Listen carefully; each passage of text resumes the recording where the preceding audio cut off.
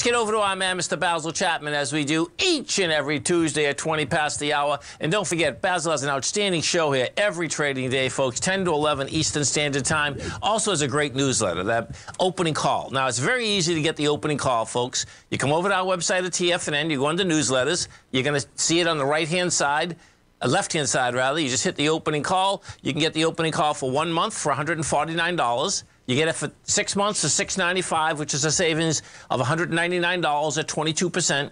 And you can get it for one year for 1195, which is a savings of $593 at 33%. Now, they all come, folks, with a 30-day money-back guarantee. Basil has about 12 beautiful workshops out there. You come in, you get it, you test it. If it works for you, awesome. If for some reason it doesn't, guess what? You get your money back. Get over there, get it. It's an amazing trading market that we have right now. Basil Chapman, what's going on? Well, as you say, it's an amazing trading. I mean, we've had some whoppers of a move on the upside and the downside. and, you know, if, if one is able to step back and look at the picture just as a trading vehicle, as you've said uh, a moment ago, um, it's much better than having this preconception that we're crashing to the downside or we're skyrocketing to new highs. Whoops, I got a call. I'll leave that alone. And um, that's saying to buy everything, Basil. yeah, yeah. So what's really important. So for us, I've been talking to you uh, for about a, a week or so, and I've been showing on my program that the diamonds are ready for some kind of a move to the upside and it's like an elastic band being stretched. But at the same time, the type of selling pressure that's been in just in vogue. I mean, since we, we still have that short position from August the 16th, uh, from yeah, middle of August, um, as an intermediate term, one to one short the Dow the, via the DOG. But we we've been buying the diamonds in this area because it looks very much like there must be some kind of a release of tension. But the fighting, you can see. Uh, for instance, I had what I call the Chapman Wave Trin gauge. All I use is Richard Arms yes. uh, trading index. I, I don't use. I don't even recall exactly how he uses it, although I know how it's made up. But I just use two numbers on the upside and the downside.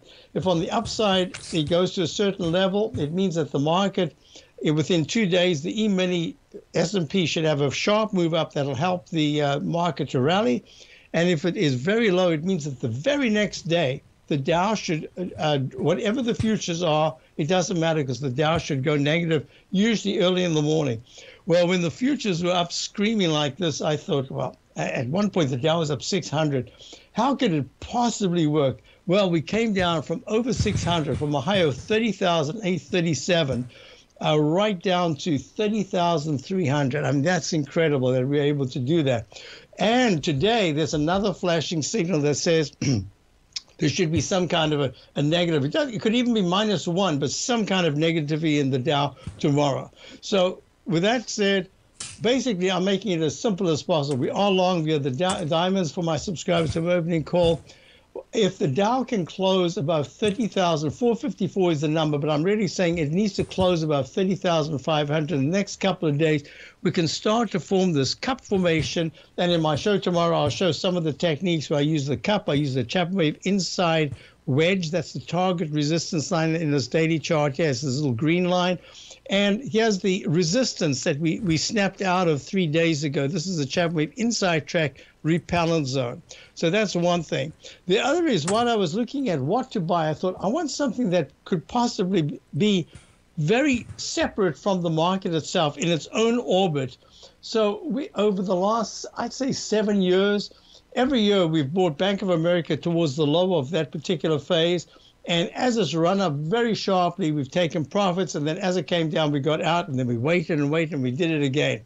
We did it a little earlier this year. It didn't quite work out. We lost a very small, I can't remember, maybe lost a half a point or we gained, but we were out of it and we waited and waited. So on Thursday, as the market was turning around, uh, intraday, I sent out an email saying to my subscribers saying, we want to buy Bank of America. Even though the earnings are coming out on Monday, it's in the sweet spot right now with, with the way yields are and the way the financials are set up, even if it's just a trade.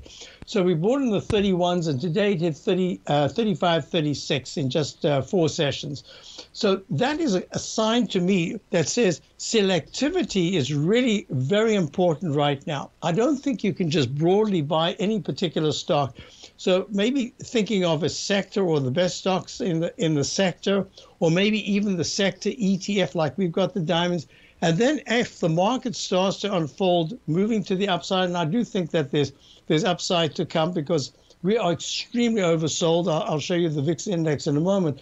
But in this particular instance, we're being very selective. We added to uh, our portfolio today with a stock that's just been decimated down about almost 90% from its high in an area that, if there is a bit of a recovery, even if it's weeks, this should participate. So being very selective sticking more with the lower price stocks. So if you look at the volatility index, and once again, I'll say in my show, the Tiger Technicians Hour tomorrow, I'll talk about it because it'll be very important uh, at between 10 and 11 tomorrow to be following it. The volatility index has held very nicely up towards the highs. 3488 was the high around about the 28th of September. it pulled back, and then it made a pattern that I talk about, which is an arch formation. But it first had to create this cup formation. Well, what happens is when something goes back to the previous high, I like to do a vertical measure. In other words, I drew, I just got the straight line down. You can see the MACD was strong, the on balance volume was strong, the stochastic went over 80%, the nine period was way over the 14. Now look all of a sudden with this the rally that was uh, that was on the 12th Thursday, it went it didn't go above the 3488 level. It was just under it. And look, the technicals are weaker here. So I'm saying keep the numbers in mind. If the volatility index starts to trade in the 29s and the 28s, that's going to be very good for the market. If the Dow can get to that, uh, as I said before, if the Dow can rally, and it's comparable to the other indices, but in this case, I'd like it to rally to the 30,500 level.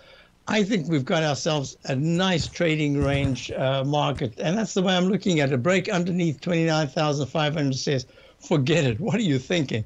But so far, it's acting very well. And as I say, these specific areas are very important that we're looking at. And you know what's cool, Basil, is that the, you know, when you talk about the Dow and the vertical, right? What's actually happening out here today, the swing point from uh, October 5th Yes. We're taking out with volume. The swing point at 2.7 million, okay? And right now we are at 3.9. So uh-huh. that's saying that the diamonds, you know, should go to 321, and we're at 304. So yes. as you were doing it, you were talking. I was just looking at it, saying to myself, "That's that's quite a um, that that's blowing away a swing point, folks. That's the bottom line." So. Well, uh, also what's important about that is the MACD has been positive the last uh, week or so. Stochastic is at 8, 55, I want, 66. I want to see it over 80%. So those are the numbers I'm looking at. And folks, don't forget, 10 o'clock tomorrow morning. You can listen to him. Come over to our website right now. Get his newsletter. You'll be growling and prowling and riding that wave. All right. Basil, you have a great one, safe one. and We look forward to the show tomorrow. Thank you very much. Tom. Thank you. you Stay right there, folks. We'll come right back.